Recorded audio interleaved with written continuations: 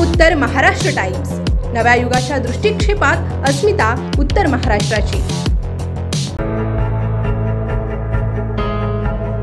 येणाऱ्या श्री गणेश उत्सव आणि ईद ए मिलाद निमित्त चांदवड पोलीस स्टेशनतर्फे रेणुका लॉन्स येथे शांतता समिती बैठकीचं आयोजन करण्यात आलं होतं.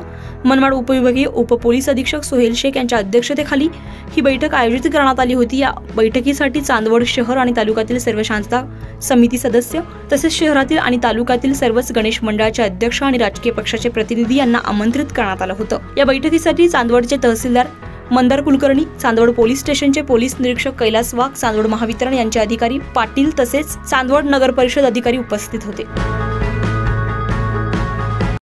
एकंदर जो काही पायंडा आहे सर्व सण उत्सव शांततेत साजरा करण्याचा आणि प्रशासनाला सहकार्य करण्याचा तो अतिशय चांगला आहे. आणि या निमित्ताने एक आदर्श आपण तयार करतो आहोत आपल्या जिल्ह्यामध्ये राज्यामध्ये.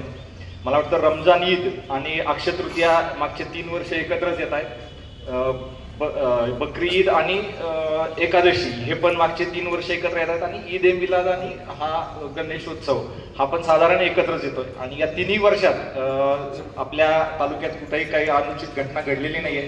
आणि मुख्यतः कुठल्याही धर्माचा सण असो तो शांततेने आणि उत्साहात साजरा करण्याकडेच त्या धर्माची शिकवण आहे.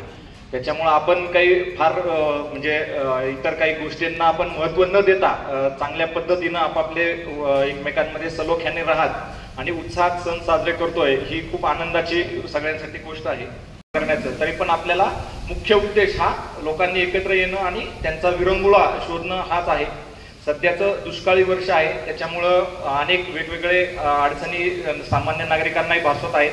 थो थोड आपल्या सुदैवानं पाऊस सुरू झालेला आहे परंतु त्याचाही थोडाफार उत्साहावर परिणाम होऊ शकतो हे आपण सर्वांनी लक्षात घ्यावं.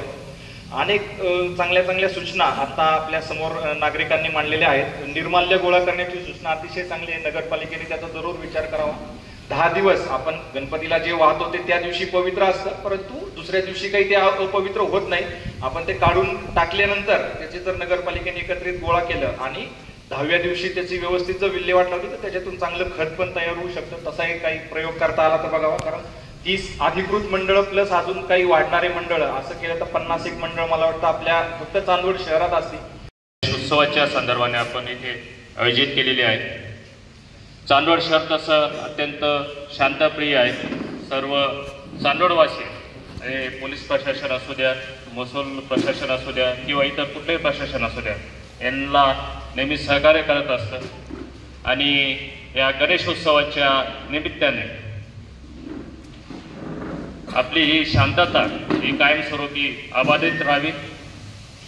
या गणेश उत्सवाच्या दरम्यान तसेच ईद ए मिलादच्या वेळेस आपल्या शहराची ही शांतता कायमस्वरूपी टिकून राहावी. याच्यात कुठल्याही प्रकारचा गालबोट लागू नये किंवा कायदा व सुव्यवस्थेचा प्रश्न निर्माण होऊ नये. आणि ही शांतता अशाच प्रकारे प्रस्थापित होऊन एक पूर्ण महाराष्ट्रामध्ये एक त्याचं एक चांगलं उदाहरण निर्माण व्हावं. हा एक त्याचा मागचा हेतू आहे. आणि सर मी आपल्याला काही देऊ शकतो की आमच्या या चांदवड नगरीमध्ये अत्यंत शांतताप्रिय लोक असतात. आणि सर्व सण सर्व कुठल्याही धर्माचा सण असू द्या त्या प्रत्येक सणाला प्रत्येकजण उत्साहाने भाग घेतात. आणि या उत्सवामध्ये कुठल्याही प्रकारची शांतता भंग होणार नाही याची देखील ते काळजी घेत असतात. आज या आपल्या बैठकीच्या निमित्ताने आलेले सर्व सदस्य तसेच काही पोलीस पाटील असतील किंवा मंडळाचे अध्यक्ष उपाध्यक्ष किंवा पदाधिकारी असतील सामाजिक क्षेत्राचे आपले काही नामवंत लोक असतील व्यापारी क्षेत्रातून आलेले सर्व सदस्य यांचं मी चांदवड पोलीस स्टेशन यांच्यातर्फे मी स्वागत करतो. तर महाराष्ट्र टाइम्ससाठी धनंजय पाटील चांदवड.